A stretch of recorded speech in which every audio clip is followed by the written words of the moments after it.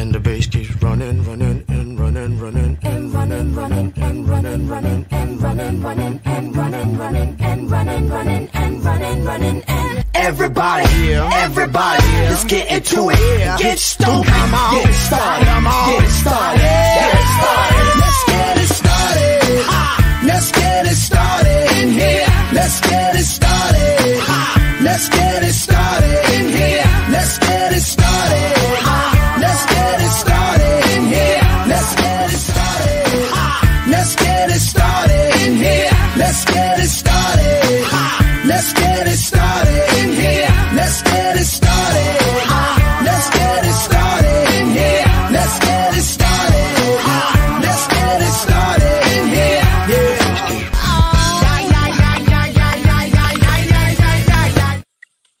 John 4 20 through 26.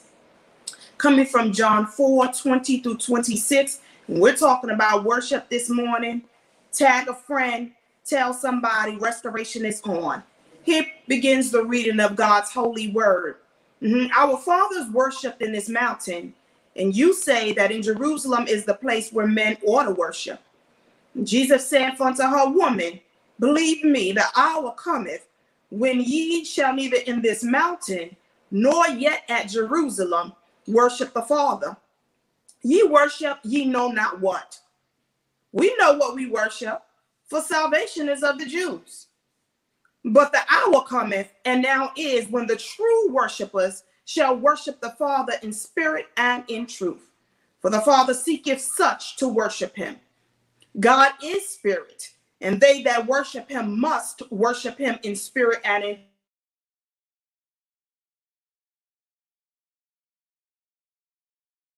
when he is come, he will tell us all things.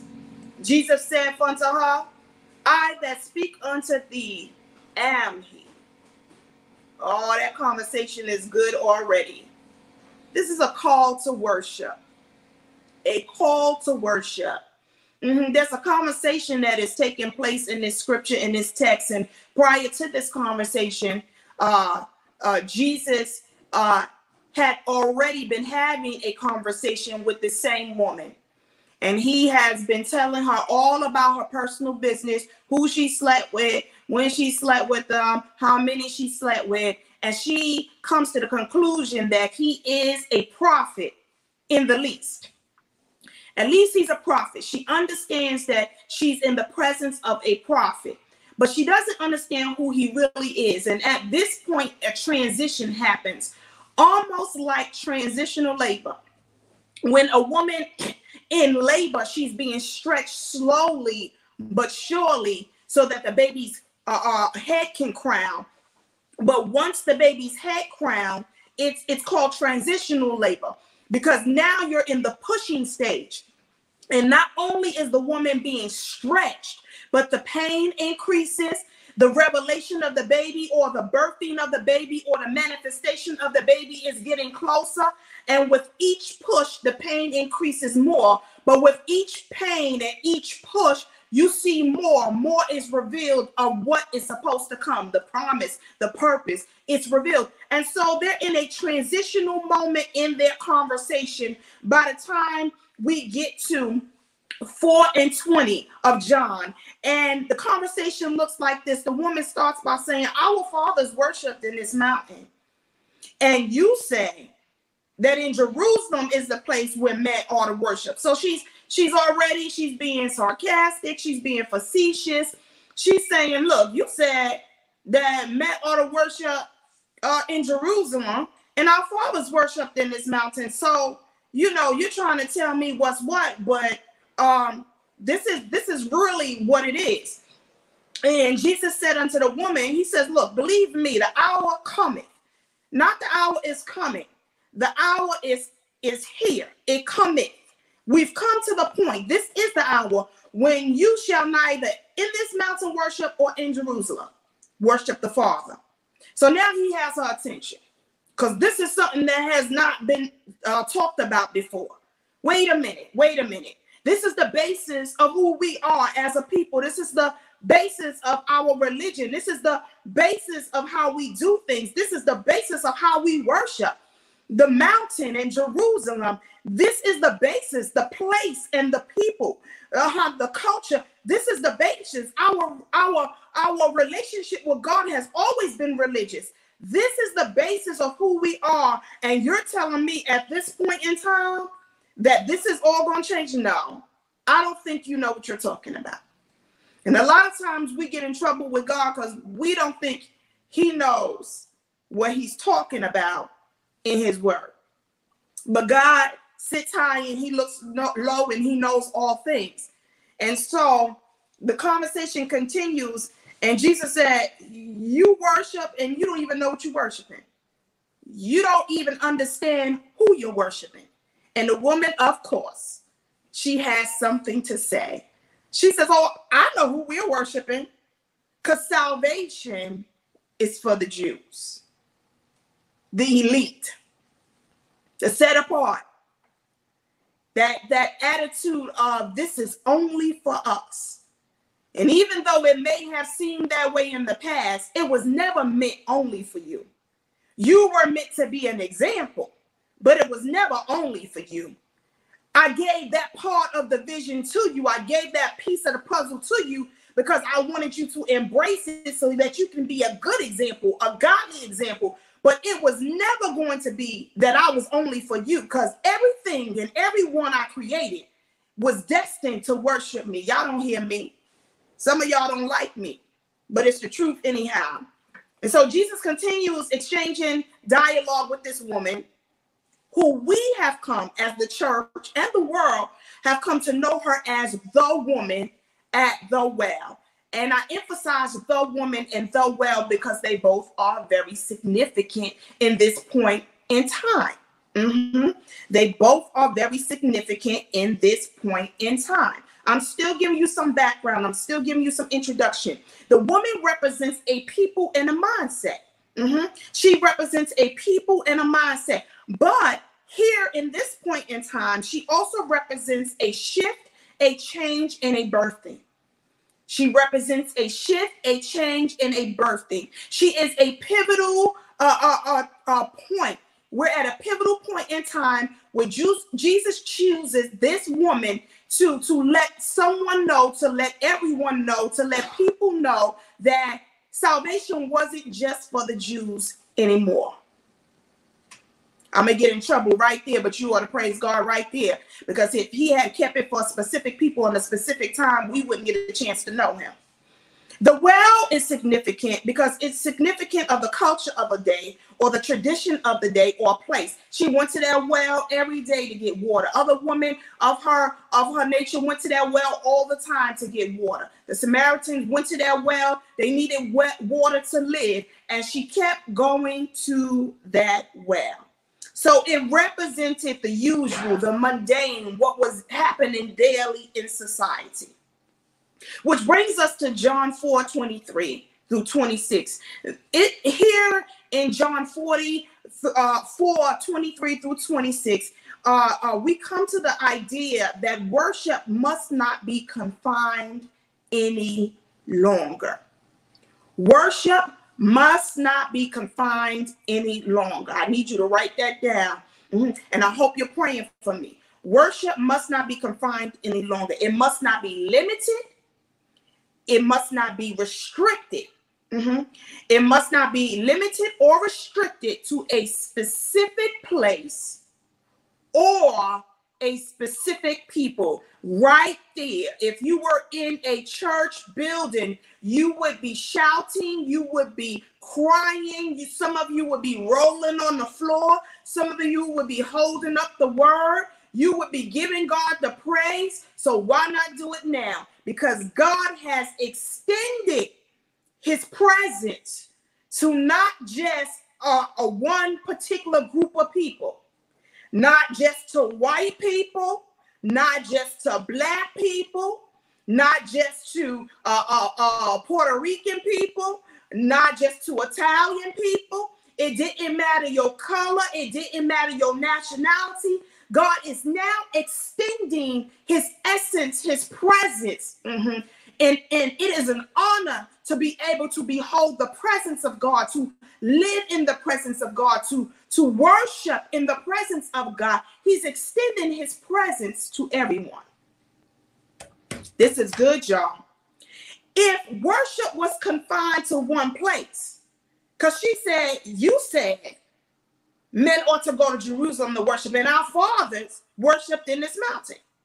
She's confining it to the place where they usually worship, what they usually do. You know how people are. We used to do it this way. We do it, we usually do it this way. Why are we changing? Why are we changing how many times we have communion?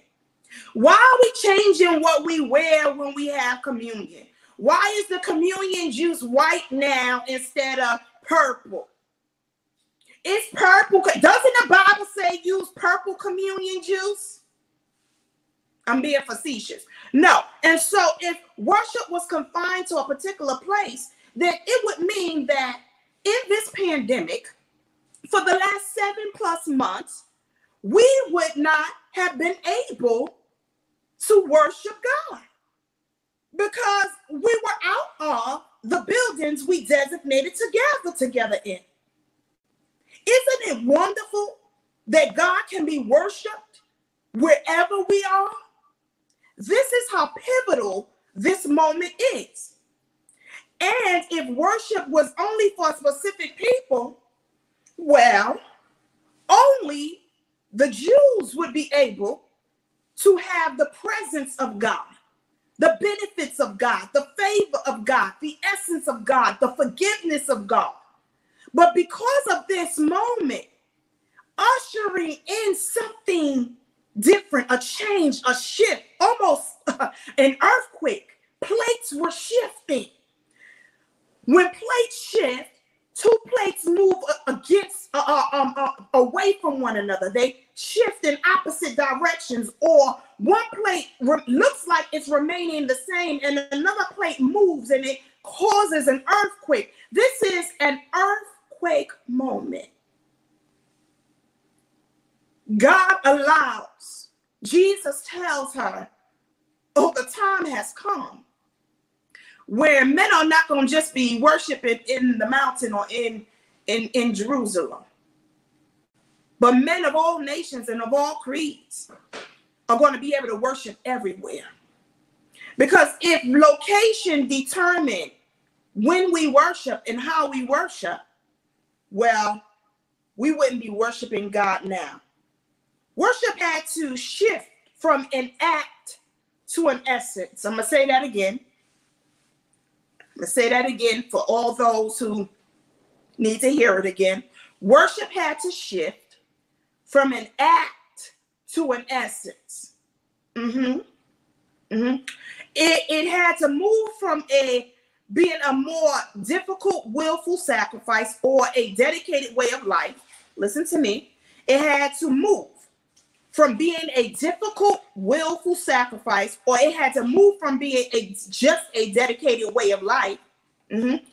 It had to to move to worship being a transformation, to to to worship being an expression of worth, an expression of worth.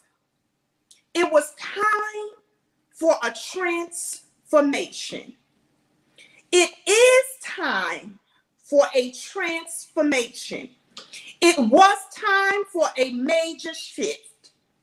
It is time for a major shift. It was time for a movement of restoration. This woman, the woman at the well, coming in contact, not by accident, with Jesus was in the midst of restoration, a movement of global restoration. And that's what we're going to continue to talk about. Is a it's a call to worship, a movement of global restoration. Sounds kind of like where we are today. When people have become too comfortable worshiping God only in one place. A movement of global restoration. Sounds like what we're experiencing today. where people, the Jews, the Christians, think that worship was specified only for Christians. I mean, for Jews, I mean, for Christians. And God is saying, My worship was intended for everyone. It is how you worship that determines the difference. Because you got Jews for Jesus, you got Catholics for Jesus. Yes. You even have people who grew up in the Muslim faith that are now for Jesus. You you have Jehovah's Witnesses former for Jesus. You have people who have practiced and, and, and their way of life they have now confessed with their mouth and believed in their heart that Jesus is Lord, and now they can worship. But because they still wear a wrap on their head or because they still cover their face, you think that they cannot worship God. But but but God is saying it's time for a movement of global restoration. Why do you think we are in a pandemic? Because it's time for global restoration. It's time. That's why you have an uprising. It's time. That's why you have protests. It's time. It's time for the church to come alive again. It's time. I'll prove it to you. There are three things involved in a movement of global restoration. And that are th- those are the three points we're going to talk about. There are three things involved in a movement of global restoration. It involves three different things. Number one, it involves a reformation. It involves a reformation. Mm-hmm. I need you to hear that. Number two, it involves a revitalization or revival. mm-hmm. We're talking about a movement of global restoration. It involves, number two, a revitalization or revival. And number three, it involves a revelation or a revealing. It involves a revelation or revealing. So, a movement of global restoration involves a reformation, a revitalization, and a revelation. It involves a reformation, a revival, and a revealing. Those are the three points that I want you to walk away from here with. We did all of that introduction and background to get to this point. Three clear points. And I'm going to give you some of it today. Number one, a reformation, which is a reforming during a specific uh, period of time. It is a constant reshaping. I need you to get these words a reforming, a constant reshaping of not just ideals, but how we live. Of not just ideals, but how we live. It's saying my battery is low. Of not just ideals, but how we live. I need you to get that. How we live is important to worship. Mm-hmm. It is a reform of how we worship. Mm-hmm. It is a reform of how we worship. You have to close it. Continue. Mm-hmm. In this case, a reform of how we worship is talking about uh, a new dispensation or a system of order when it comes to religion. Jesus says, But the hour cometh and now is. In other words, we are currently in a time when I am changing the order of religion. You can no longer afford to be religious in this day and age. And I'm not just talking about Jesus talking to the woman at the well, but we are now the people at the well. We had a well that we've been drinking from. We are used to going to a particular place to worship God. We are used to having elite clubs. We are used to having the same program. If somebody does it different, we think they are not of God. We have begun so much to, to, to think so highly of how we do it that we have begun to fight amongst one another. We have become the Samaritans and the Jews. There's now a difference between the Christians. I'm Baptist. Uh, uh, I'm Pentecostal. I'm Methodist. Uh, uh, I'm, I'm apostolic. I, I, I, I, I am, I am, uh, I am Jesus only. I, I am the Father, Son, and Holy Spirit. We argue amongst ourselves. But Jesus is saying we are at a dispensation. He's interrupting our system of order. I'll prove it to you. He interrupted where we worship. I'll prove it to you. We can no longer be in the same buildings the same way we were. We were. He interrupted how we worship because some of you are saying, Well, I'm in my building because I believe God and nothing's to touch me. COVID can't touch me. I'm to go in the building. They can serve me with whatever papers. He interrupted how we worship because even if you're in your building, your seats are apart or you got masks on on your face, you're supposed to have it, or on your neck, like some of you wearing, or you know, like jewelry on accessory. He interrupted where and how we worship.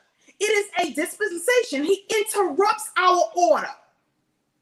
Instead of having church in the building, some of us have have been lax on evangelism, leaving the church building and going to let others know that Jesus is Lord and Savior. And so, what does God do? He moves us from the church building to the parking lot, from the parking lot to the park lots, from the park lots to our homes, to our communities. God pushes us out of the place of comfort into society so, we, so where we have no choice but to show others what worship looks like to live worship and not just speak worship to live worship and not just do worship to to live worship at all times and not just have a set time when we worship this is a call to worship. It is a global restoration. It starts with a reformation, a reforming, a constant changing of the order of things in our current religion. In other words, he shifts worship from being where, from where to how. It's not where you worship, it's how you worship. And then he shifts worship from what to who. So it's not where. Nothing to do with the mountain. It's not what.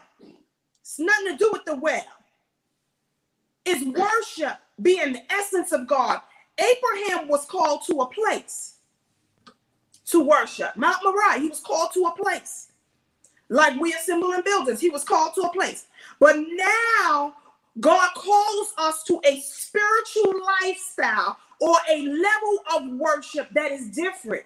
He tells us to level up your worship, come closer to me, reach up toward me. A reformation, a changing, a, a, a new dispensation of religion is an indication that our upward reach is now being refocused back to God, that we now continue to have an upward reach toward God, that we're not just using the body, we're using the whole body of Christ, not just the head body of Christ, not just the feet to dance with, not just the head to set order with, but our arms, the body of Christ, the whole body is involved. We upreach to God because we know that we don't have all the answers, that even when we read the word of God, if we read the Bible from the first letter to the last letter, to the last point, to the last comma, to the last period, we still have not understood everything because God is constantly changing us and reforming us and transforming us.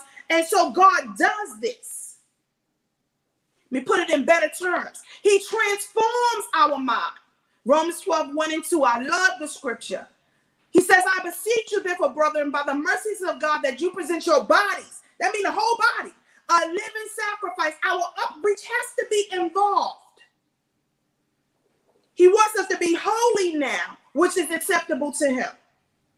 He moves us from being halal, a permissible animal sacrifice.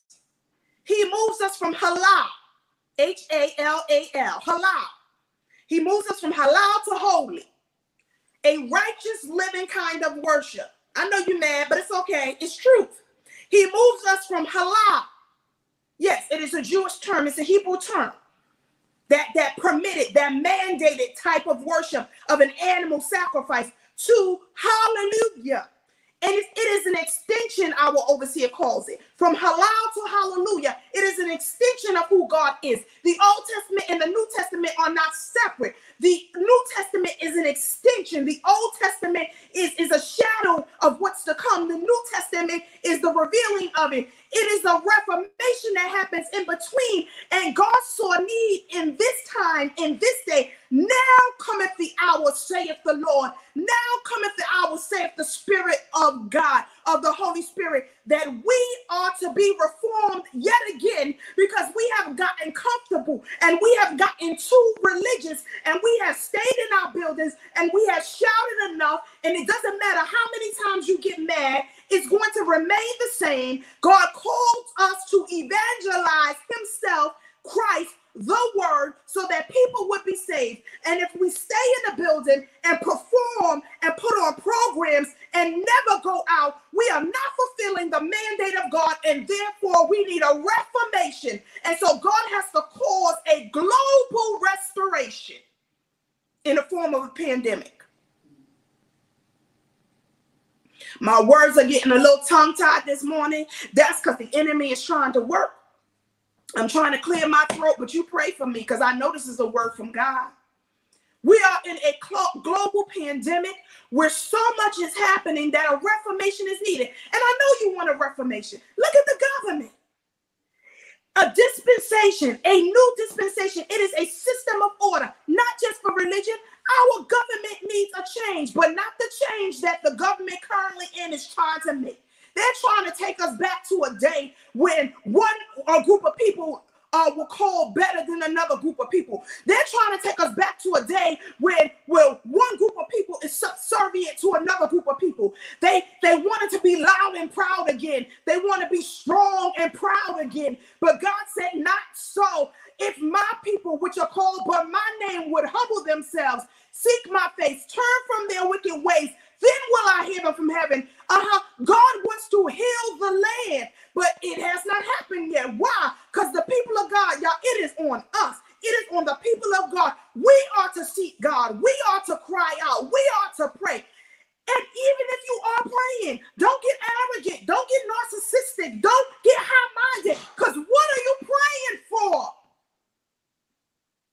Your will or God's will. God is calling for a global restoration.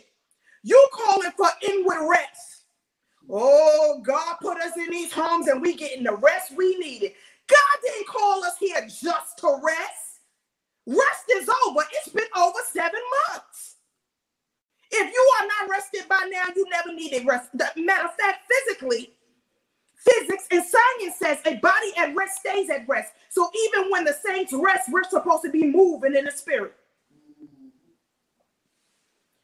You praying and you praying that God would just increase your ministry, but you won't evangelize. God is saying, I need you to increase your strength. I need you to increase your walk. I need you to increase your outreach. I need you to increase not your dance, but I need you to increase divinity. I need you to seek my face. I need you to humble yourself. I need you to repent. I don't care about your title. I'm God. Uh-huh. I called you by your name. I didn't call you by your title. I'm God. God doesn't care about our titles. He don't care if you are an apostle. He don't care if you're a pope, an archbishop, a presider. He don't care if you're an overseer, a pastor. He doesn't care if you're a doctor. He don't care if you're a lawyer, a preacher, a teacher. God cares about us, our souls, and we are supposed to be reaching souls, reaching the lost for Christ. Some of us have gotten lazy. You can't preach unless you're in a building. And some of the people in the house now, they don't even want to go back to the building. God is calling us to the world, and the world is not cooped up in four walls.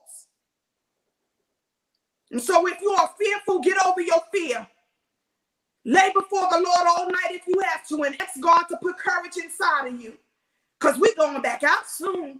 Ready or not, we're about to go. I hear the Spirit of God. And so reformation is taking place. That's the first part of a global restoration. A reformation needs to happen. And I'm not talking about a fellowship where you have all of the hierarchies and a fellowship and a group of people get together. And I'm talking about God's spiritual reformation of the world. It is the first part in a restoration. Because restoration is where God restored the years that the cankerworm have eaten up. Oh, we got cankerworms.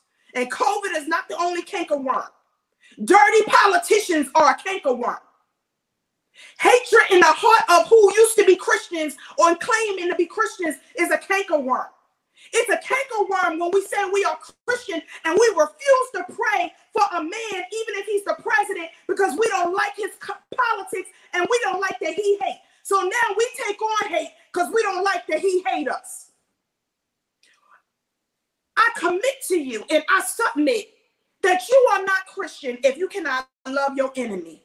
If you cannot pray for your enemy, the person who want to kill you, the person who want to destroy you, you cannot love your enemy. You are you cannot be because Christ said he is love. It is his, uh, his commandment that we love our neighbor as ourselves. So if you cannot love your neighbor and your neighbor is not always your friend, your neighbor is not always your family. Sometimes the very neighborhood you live in is an enemy to you. And if you cannot love your neighbor and if you cannot love your enemy, I don't know why you're calling on the name of Christ. Repent, saith the Lord. I know I don't lost some of those numbers in the corner. But tell somebody, repent, saith the Lord. I repent, God. So he takes us from halal to hallelujah because it is an extension of who Christ is. God doesn't come to destroy, Christ didn't come to destroy, but to fulfill the word of God there was an explosion of worship about to happen. Worship to God. We are made to worship Him, and we have gotten away from it. And so a global restoration is taking place. And this is the beginning of it because He needs dunamis power to happen and not just jurisdictional power. He needs global power to happen. He needs us to change our methods. He needs to shift our how. He needs us to go from from from bulls and buildings to really building the kingdom again. Yep. From lambs, bulls, and buildings, because that be the sacrifice. Woo, girl, I just made it to the church. I had to take the train and the bus to church. I sacrificed. Bulls and buildings and bull. We think making it to the building is a sacrifice. Oh, how we have lost the true calling of God to call souls in. People die so that other souls will live. Years ago, a young lady had a gun to her head in the school, and they said, If you renounce Christ, I'll let you live. And she said she would not renounce Christ, that she was saved, and they killed her. She died for what she believed in. That's a sacrifice. Drink a Red Bull, stop the bull, Stop about going to the building and let's become global evangelists and global missionaries again.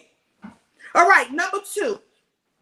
Number two. Then comes after the Reformation inside of global restoration, after the Reformation comes revitalization. A revitalization, or what does church folk like to say, a revival. See, because the Reformation was for the outreach. God got changed the minds and all that kind of stuff. But the revival is for the church, the body of Christ, the bride of Christ, the body, the church body, the bride of Christ. The revival is for us. It's a revitalization. It's when things are rejuvenated, your, your look, your strength. We know re- revitalization, revival means rejuvenating the inside so we can get our passion again, but it also means the look. When you revitalize your face and rejuvenate your face, your look is revitalized. It, it's part of the reformation, it's part of the restoration. The look has changed. When Jesus touched the man with the withered hand, his hand was made whole. It was restored. In the restoring of his hand, his the look of his hand changed. Something, the look, your look has to change because the church is looking bad to the world. They don't even respect us like they used to. We used to say they, they wouldn't smoke in front of the church. Now people light up and pull out their cigarette before they leave the building. But forget that. They used to didn't smoke inside the building. They used to didn't smoke inside a Christian or, or true prophet or man of God or woman of God's presence. Now they cuss, they fuss, and everything. And I'm not talking about the strong demons, the little imps try you. Because our strength is diminished because our prayer has been diminished and our focus has been changed. God comes to revitalize us. Jesus came, he said, he said, listen, there's going to be a revitalization. Uh-huh, I came to revitalize because y'all Samaritans are fighting with the Jews. Everybody, you got one on this side, one. Everybody think they better than everybody else. But I came to revitalize even your look. There needs to be a similarity. I came to reclothe you. I need you all to put on the garment of praise for the spirit of heaviness. I know we're in a pandemic, but when you get up and testify and witness to somebody, stop focusing on who died and start focusing on what lived. I know you got cancer, they said. But tell them instead of saying I got cancer and they said I'm gonna die, I need you to say, start out with, listen, I shall live and not die to the works of the Lord. I'm living with what other people died with. He came so that we can be revived inside ourselves. And so now we're not talking about outreach, we're talking about inreach. Inside of us need to be changed from the inside out. I talked about this the other day. From the inside out. We need a changing from the inside out. And the only way that happens is with prayer and fasting and consecration. Real prayer, fasting, and consecration.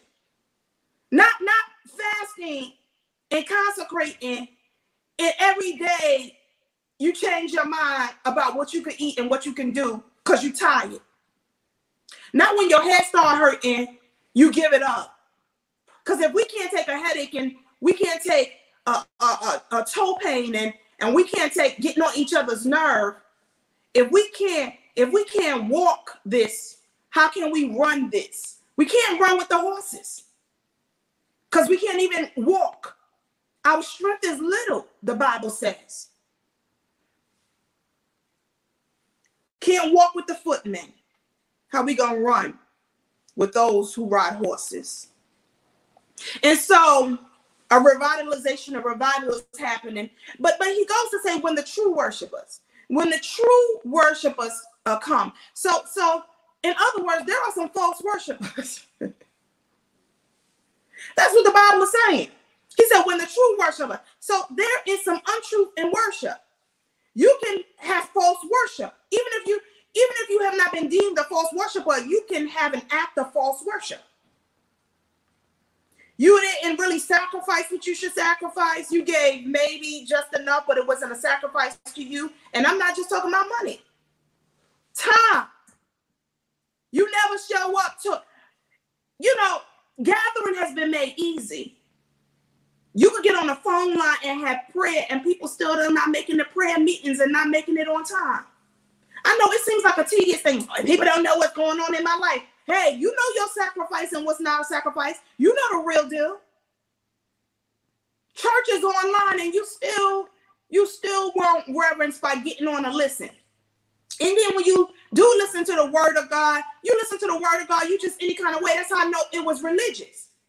Because you come to the building real dressed up, but in your house when nobody can see you, you don't even wash up. Y'all mad. We're still coming in the presence of God. I didn't say you had to dress up. I said, but at least wash up, brush your teeth. Wash your face. Anoint yourself. You're about to hear the word of God. You're coming in the presence of God. Or did you all do that all just so other people could see you? Was the Louboutins and the hat? Was the, the, the tie and the and, and the Gucci belt? Was all of that just so people could see? Or were you really dressing up for God? I came to work. It's for an audience of one. It was for an audience of a hundred, of ten, of two thousand. It was for the audience. It wasn't for Christ. Because if it was for Christ, even in your home when nobody saw you on camera, you would at least brush your teeth. We, he came to revive us. Because if we're not revived, if we're not resuscitated, some of us need more than a revival. We need a resuscitation. We have, we look dead. We appear dead in our functions inside. They are, they're dying out. And we need to be resuscitated so we can be revived, so we can go back out into the world to, to let the world know that Jesus saves to the utmost. Jesus saves. Almost there. Let me give you this point. He said, True worshipers will worship the Father in the spirit and in truth. I need to get this to you real. I'm gonna give it to you real simple and real quick. I ain't gonna give you all this, but I need you to hear this because it's important. All in the Bible, you see the Holy Trinity because God is one God. He, he, he has these different sides, these different characteristics, yeah, but he's still one God. We don't serve three gods, it's one God. And he shows himself as a unit always. Watch this. When we worship the Father, we must worship the Father in spirit and truth. Why? Because that's the Holy Trinity. You have to be whole, just like just like you have your, your physical body, your soul, and your spirit is a trinity, and you still one person. You ain't three different people. If you're three different people, even psychologically, we call that split personality. And we know that you have a mental health issue. God is not three different gods. He is God. He shows himself as Father, Son, and Holy Spirit. Watch this. It is the Holy Spirit. He says you must worship him in spirit. The spirit, Acts 13 and 52. Acts 13 and 52. Acts 13 and 52. I'm giving you time to write it down. And the disciples were filled with joy and with the Holy Spirit or the Holy Ghost. Why is this necessary for us to be filled with the Holy Spirit? Because the four elements of the Holy Spirit are needed for true worshipers to operate in the kingdom of God. So, what are the four elements of the Holy Spirit? Mm-hmm. You're not going to see this on the screen, but I'm going to give it to you. So, write it down.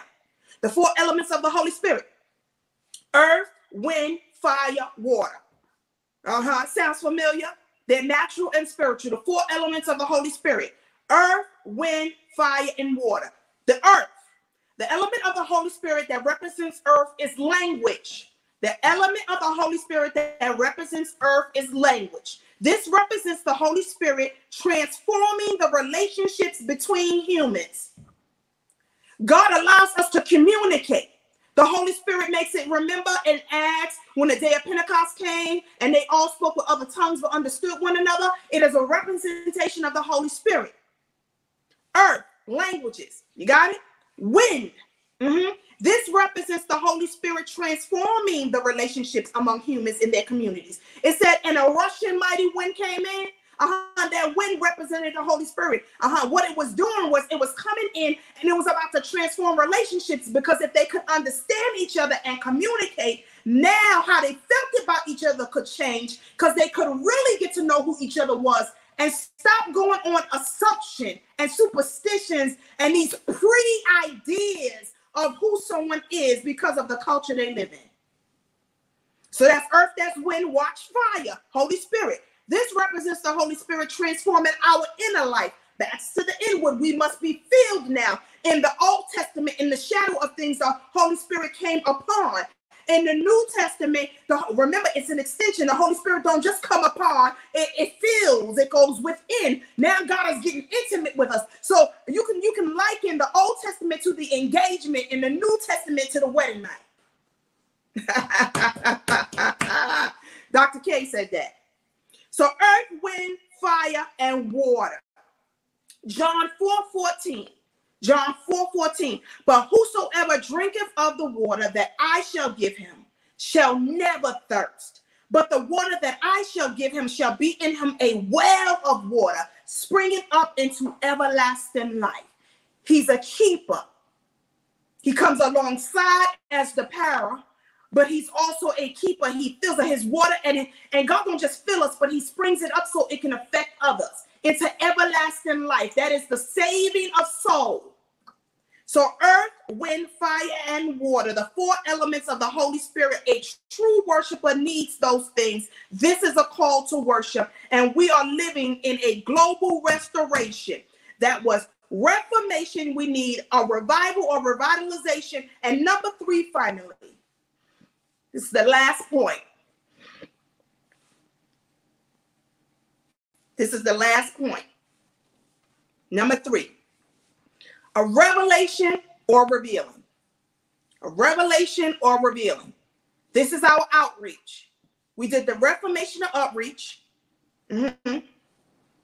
Remember, Reformation outreach, rejuvenation or revitalization or revival was the inreach. Now, this is revelation or revealing is the outreach. So, what are we re- revealing? It's the saving of souls, it's the glory of God, it's the manifested glory of God. After the work comes the reward. After the work comes the reward. After we testify comes the reward of souls. After we witness comes the saving of souls.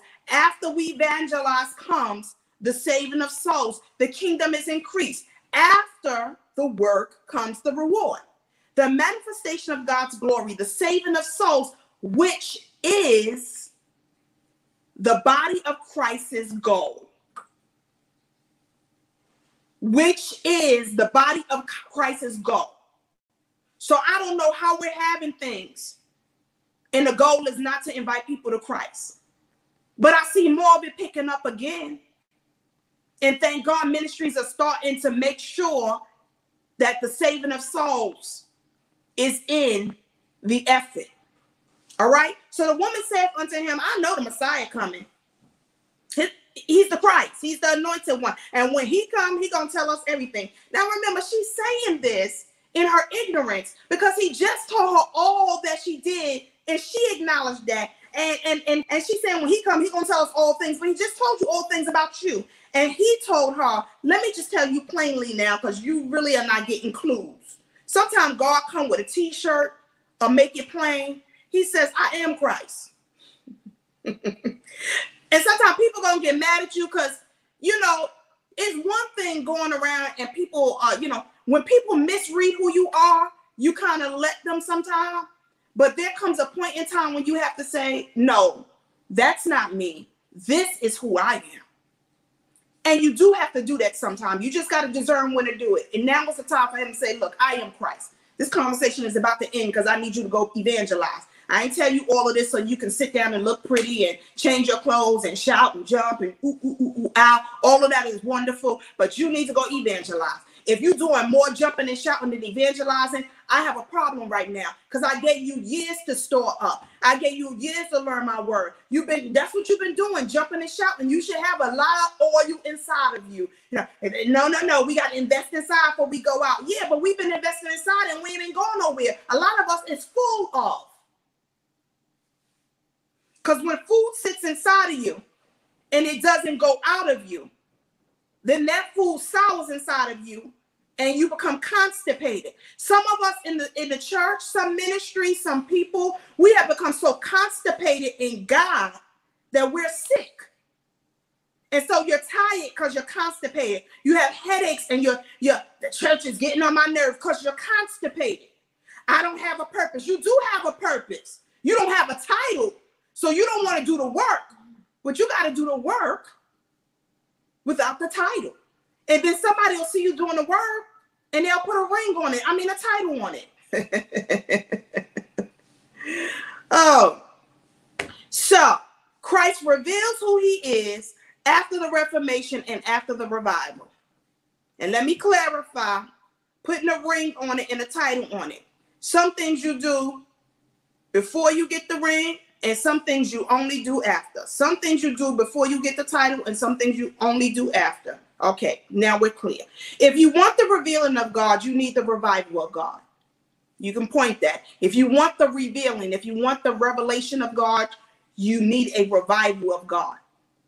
To some of us preachers, and I say us, I'm not throwing off on us, I'm just trying to make us level up. Some of us haven't had new revelation in our studies. That's because we haven't studied. We go to old sermons and we use as is. It's nothing wrong with old sermons. I do it.